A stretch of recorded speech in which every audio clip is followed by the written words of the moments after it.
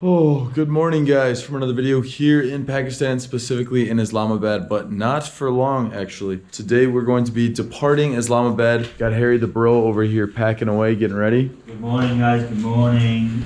And we are taking a tour now. So we're joining a couple guys here who you guys will meet in just a moment here once we get down to the car. Crom and Mace, Mace, and I gotta confirm his name here. And they're gonna be taking us over to SWAT. Yeah, like I said, about four hours to get there. And uh, hopefully we're gonna get a couple cups of Joe in us because we went to bed at like 1 a.m. and got up at 6 a.m. kind of later on until 6.40. So let's head down there and meet them. All right. Oh, it's nice and chilly at 7 a.m. That's for sure. I think these are our guys. Good morning, gentlemen. How are we doing? Good morning, guys. How are you? Good to see you. Good morning. How are you? Fine, thanks. Bright and early. You guys ready for this? Yes, we are ready. Perfect. We got Harry coming out. I'm a little faster of a packer though. Ah, okay, I guess sleep well. Well, we were up till about 1 a.m., so well enough. Okay. Yeah. So we've got Akram here Yeah. and Mice mate. Namaz. Nice to meet you, Novaz. It's a pleasure. Let's do it. All right, guys, we're just waiting on Harry. That's all right. He'll be out here in the next couple minutes, and then we'll begin the journey. All right, so we're on the road here. We've got Harry in the back there, bro. You made it in? I made it finally. We're gonna be a little tired though. I'm not gonna lie. Like I told you guys, got up about an hour ago, but didn't actually roll out of bed till about 20 minutes ago, just in time. So yeah, we're cruising up. Like I said, about four hours till we get there, and uh, we've got the gentleman here. So we've got a Kramus from Hunza Valley, right? Yeah. So he's gonna know this place quite well. He's promising us a lot of very local spots that only he can find. So make sure you guys hit that subscribe button because the places we're gonna visit are gonna be completely different than all of the videos you've seen in the last maybe 40 videos at this point. And uh, one more time, your name? Mohammed Naz. Mohammed Naz. And you're also from Hunza. Hunza. Oh, nice. You guys are both local to Hunza. Yeah. Perfect, perfect. So we've got Mohammed who's going to be joining us for the next two days and we're going to have some fun. So first stop SWAT and then it'll just be one day there where we'll share maybe one, two videos with you guys and after that we'll be continuing on to Hunza. Well guys, you know what time it is. A quick stop over here at McDanklin's. That's going to be G-double-O-D. Sabah El Hell. Oh, I think that was the wrong language. Uh, how do we get in this McDonald's? Is it closed? No way. No. I think McDonald's is closed, bro. Yeah, I think that's the door to get in right there, right? McDonald's closed? Oh, it's it's open over here? How do we get in? Looks pretty closed to me. What's this guy talking about? Hello, hello? You guys open? Hello? Hello. Your security guard's telling us that you're open and he sent us to the drive-thru by foot. Can we order? We need coffees badly. Well, I guess no chow here, bro. Bit of traffic here. Salam alaikum. All right. Guys, the day has come where I have located a McDonald's that is not 24-7. Didn't know that was possible, but we have unlocked that there are McDonald's that are not open this early in the morning. I'm surprised. People don't need their coffees, I guess, but we shall see. We're gonna keep cruising down the highway and see if we can find another spot at some point here soon.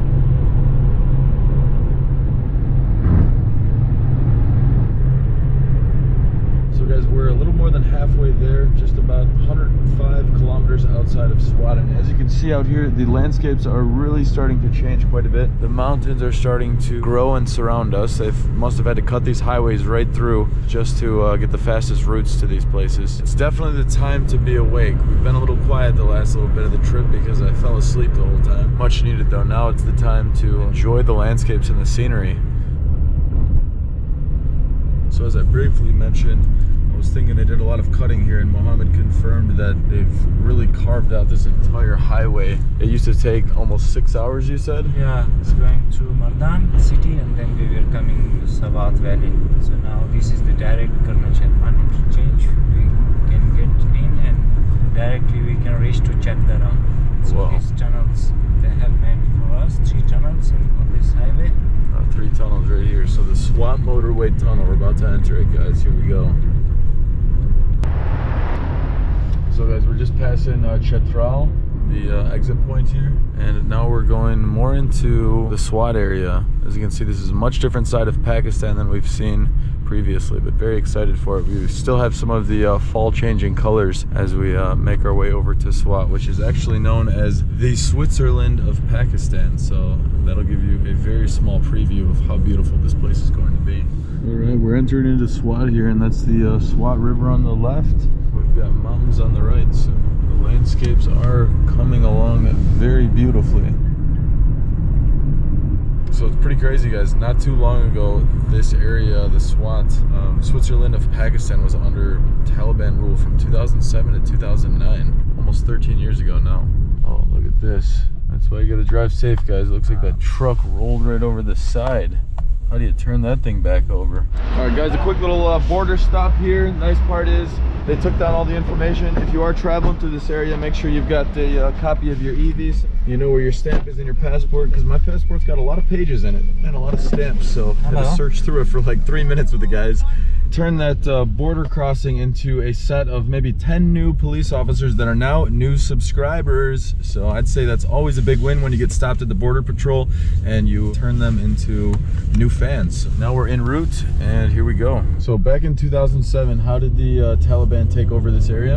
In some place there were uh, Taliban. Yeah. Let's say in the city area there was an involvement of Taliban, and uh, a few it over.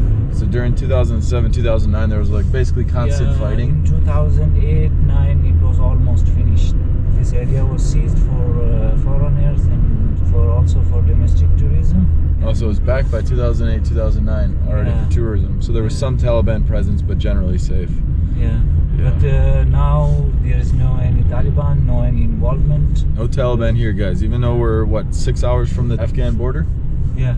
Yeah, about six hours away, but no Taliban presence here. Obviously, as you saw, we got stopped by uh, the uh, police slash military checkpoint there. They have this place guarded, and it feels very safe overall. So it's a uh, nice area. So we are officially in Swat now. As you can see, welcome to Swat, the land of Gandhara. All right, we're stopping for some uh, delicious roadside breakfast here at a traditional Pakistani place here. Salam alaikum. Walaikum assalam. All right. We're right here down in Swat. So it's a nice temperature, guys. We're probably 10, 15 Celsius. As you can see here, definitely jacket weather. And this is where we're gonna be eating at. Looks like we're the only ones here. And we've got something going on right over here. Some little like meat pie. Uh-huh, looks delicious. And we're heading in. Assalamu alaikum. Ab kaise hai? Alhamdulillah. Alhamdulillah. Tige, eh, tige. So this will be uh, headquarters, yeah? Perfect. I'll take a uh, kebab and some paratha bread with it. So here, you getting the kebab too, bro? Yes, please. Mm-hmm. Akram, what are you getting? omelet. Omelet. Oh, actually, yeah, yeah. Sign me up for one omelet too. Yeah. I'll do an omelet instead of the kebab. Tea? And tea, oh yeah. You know, it is breakfast time, guys. Gotta have the omelet. There's just something about the omelet that I must have. Abka naam kya hai? So Fayaz is cooking up some delicious omelets over here. These are freshly made. We got some veggies in there. They're fresh and some, yeah, as you can see, we got some vegetables here. We got some bread there and we've got all the utensils. So we're warming up. Oh yeah, that's gonna be nice. That's gonna be cooked. Good stuff, yeah? Tige. Mm-mm-mm. That's gonna be G double O D. Good. Shukriya, my friend. Oh yeah, guys, we're gonna be eating real good today. Our first local meal. Actually, I think this is our first time actually eating like legit street food. I just am sometimes a little bit hesitant to, just for the reason being that I've been sick in countries before, and we're going at such a fast-paced schedule. If I was sick for like a couple days, I would definitely be very upset because then I wouldn't be able to show you guys as much. I wouldn't be able to see as much. Yeah. So I just trained Harry here. He was about to drink the local water, and I could see the minerals like basically swirling around in there, and I can tell you his body is definitely not ready for it. I could be wrong, but better safe than sorry, right? So see guys, that's the trick. Whenever you're in any country, always make sure you hear, listen closely, wait for it, and uh-huh. That right there, my friends, that's music to the ears when you've been the one to take it off and enjoy a nice sip. I could hear the sizzling from over there. Uh-huh. That is gonna be delicious. Oh yeah. We've got one done. So we got process number one. So we're getting a nice little heap and scoop of, is that maybe butter? Uh-huh. Looks like the way it's melting around. That's a big, big pallet of butter. And that's uh, paratha bread? I think so. So we're gonna be enjoying omelets inside of the paratha. It's gonna be our own version of a breakfast sandwich out here in Pakistan. Uh huh. Oh yeah. So that's how the paratha is made. Look at that. Oh, it immediately starts to bubble up. So that's how it's made. It's fried basically right on top of that frying pan, kind of spun around, and the uh, the pan was already heated up quite a bit. So as you can see, that's like a 30 second process, and the paratha bread's already done. Have the uh, omelets there and some fresh paratha bread. Mm-mm-mm. It's gonna be delish. Oh, it looks like we're doing the uh, runny yolk. All right. Another paratha bread ready to go. Uh-huh. That one looks nice and doughy. Salt and pepper, yeah? Salt and pepper. A lot of salt on there. Get some pepper on there too, guys. Oh yeah, that's more pepper than I expected. And then we'll grab one of these paratha breads and we'll turn this into a little breakfast sandwich, yeah? All right, and there we go. We're gonna get that all inside of there. This is definitely not the normal way to eat it, guys, but this is the mac way infused with the Pakistani food. We're gonna roll that thing up into a nice little burrito. And we're gonna chow down. Oh, baby, that is good. Mm-mm. Mm. Mm-hmm. It's a combo USA. Yeah, that's exactly. Pakistan. Pakistani, exactly. Infused together. How is the taste? Oh, delicious, delicious. Yeah, guys, the, the nice part is it's fresh off the stove top here. So out here in the cold, it's warming up my entire body because it's so hot, but I'm so hungry for it. Mm-hmm. Delicious. Guys, I think this might be safe to say this is like literally, I'm not saying this for the camera, the best way I've ever eaten an omelet. Inside paratha bread, it's unbelievably tasty. Mm-hmm. It's been like 30 seconds and I've already almost finished the whole thing. That's how you know it's delish. Ate that so fast, guys, I didn't even tell you what's in there. Onions, tomatoes, obviously you saw the salt and pepper go in there, and a couple other veggies. Maybe some peppers in there. And mm, mm, mm, that infusion was great, especially because the paratha bread has so much oil, along with all the butter that you saw that the omelet was cooked in. It just made it like almost like a liquidy omelet, which was fantastic. We're gonna be ready to explore Swat now. And you know what time it is? Post uh, paratha and omelet time for some chai. One of probably seven today. The chai addiction is real, I can tell you that, right?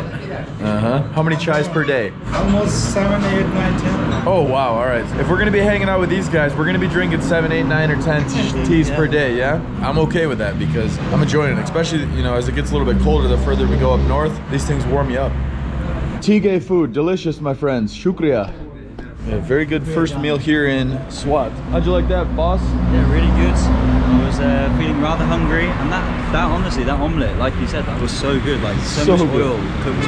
And all that butter too. Yeah, So yeah. he literally took like a tablespoon of butter, tossed it on there, and it was uh, quite good. You better watch where you step though, otherwise you might take a leap down into the river. All right, guys. Now we're cruising over to the uh, SWAT museum here. It's a pretty big museum. Yeah, yeah. Indoor or outdoor? Indoor. Indoor. All right. Perfect. Perfect. And how far is it? Uh, It will take almost half an hour. Oh, half an hour. All right. So SWAT's a pretty spread out city. Mm, Yeah. Yeah. As you can see here, guys, we're getting a look into what the local life is in this area. We've got markets. We've got trucks with what are those bananas hanging out of the back? No, that's not bananas. Some sort of vegetable. I've never seen anything like that. Oh, that was cauliflower. Wow. From afar, it looked like bananas.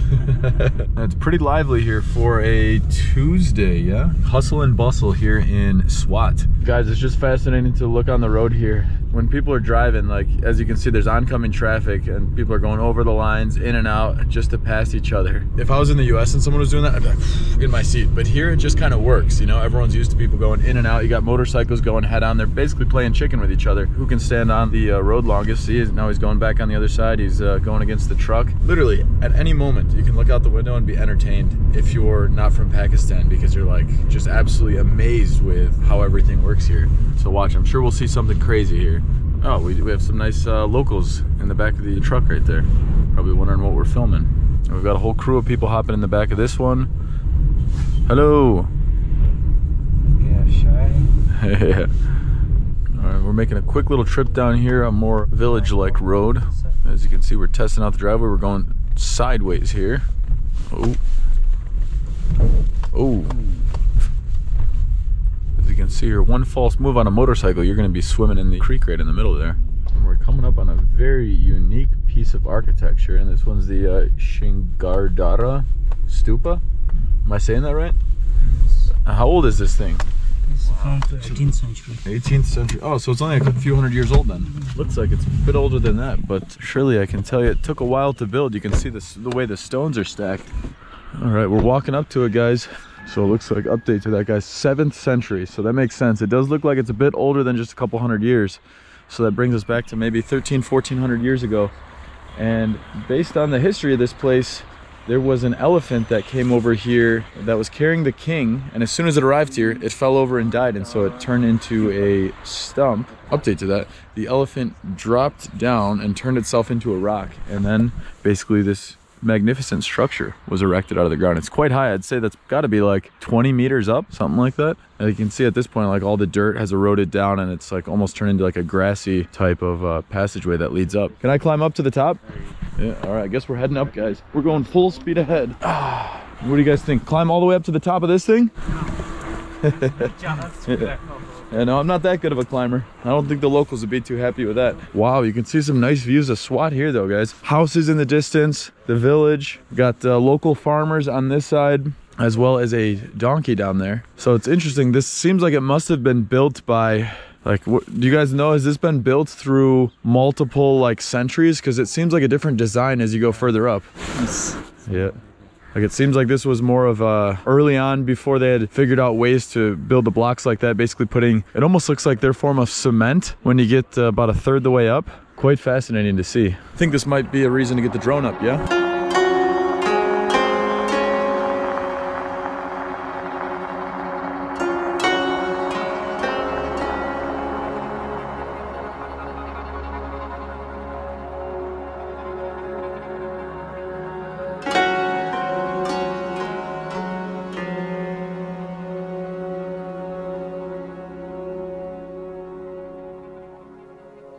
guys could see a quick view of what it looked like from up top. You know, you can tell no one's been up to the top in quite a while with all the vegetation up top. So quick view, good for a five minute stop. And now we're gonna keep heading towards the museum, probably another 20 minutes or so till we're there. So guys, we're doing one more quick stop off before we make it over to the museum. And that's right across the street here. We're going across here. We got a rickshaw and we got a tractor coming. And this, as you can see, is what's left of the statue. Apparently when the Taliban took over here, they destroyed some of it. But let's go ahead and uh, climb up to the top, see what we can find here. Oh, we got a little cave up here. And let's see what's going to be all the way up here at the top. Salam alaikum. Ab hai? Tige. It's a nice view up here, yeah? And there's a cave. Oh, the cave doesn't go too far in here, guys. Not much we can see in there. smells like someone smoked a cigarette in there. And uh, here's the views. Some nice views, yeah? And what's your good name? Kalim Khan. Karyamham? Kalim, Kalim. Kalim. It's a pleasure to meet you, Kalim. Good name. Hey, assalamu alaikum. The big man, you made it up. I made it. So my instincts say that that's some sort of dropping there. I would guess a goat. Comment below if that's right. Goat? Ah, all right. Yes, I was right, guys. Well, the reality is, is there's not too many other animals I've seen running up the sides of cliffs besides the mountain goats. So it's a lucky guess, I'd say. Some steep stairs here, no railing. So if you're running up and down these stairs, be ready, anything can happen. Back to the car. All right, we're starting to enter the modern side of SWAT. More billboards, past a couple malls here, and just a lot of, looks like that's a Uniqlo, or maybe one of the sister companies of them. Uh, quite the shopping district over here. Here's the busyness, guys. Look at this. We've got cars coming straight at us, and then at the last second, swoop back into their lane. Anything goes here.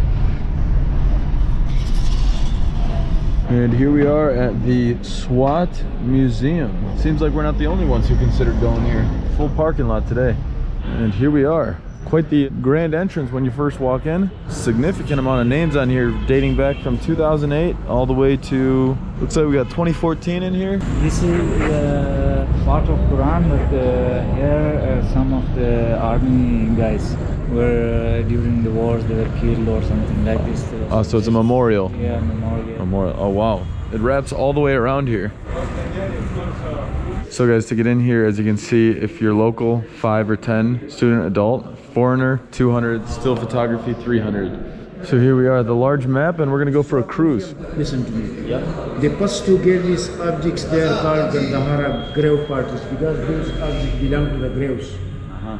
1700 BC. So you can see uh, here, the red one, Buddhist, Yeah. rooms. Then you can see through to historic the Pastu Gerlis, Gandhara grave potteries. Green one, Islamic Masjid Mahmud Mosque. And uh, black historic site you can see Hindu Shahi and Turk Shahi. Ah, At 780. Wow. That's quite a long time ago. I'm gonna do a quick tour for you guys. One, because I'm not supposed to be filming, and two, because museums are meant to be explored, in my opinion, in person, but it's an important part about SWAT to share with you guys. So we've got some nice looking sculptures here. Very beautiful. As you guys can see up there, the Buddha statue, that's much more intact than after it was destroyed by the Taliban quite a few years ago, as you saw at the last place we were at. So this is what it used to look like, guys. A bit different, as you can see there. I couldn't find the staircase when we were over there last time. It's a bit overgrown since. The only thing that stands out is this yeah. and uh, up top. Salam alaikum, my friends. Okay, so hey, Tige? Perfect, perfect. So guys, quick little run through the museum there. Little bit harder to film, so just showed you real quick. You'll have to come check this place out yourself. I personally don't like to film museums because I think they're better to walk around and experience them yourself. That's just my personal opinion, but yeah, that's where I'm gonna go ahead and end today's video, guys. That is the first step into exploring SWAT. We just have one day here, so hopefully we can get one more video for you guys while we explore this place. We're gonna stay overnight here, and then we'll be heading up to Hunza Valley. So if you guys have enjoyed this video, make sure that thumbs up. If you wanna see more videos both here in Pakistan and all around the world, hit that subscribe button below, and I'll see you guys tomorrow.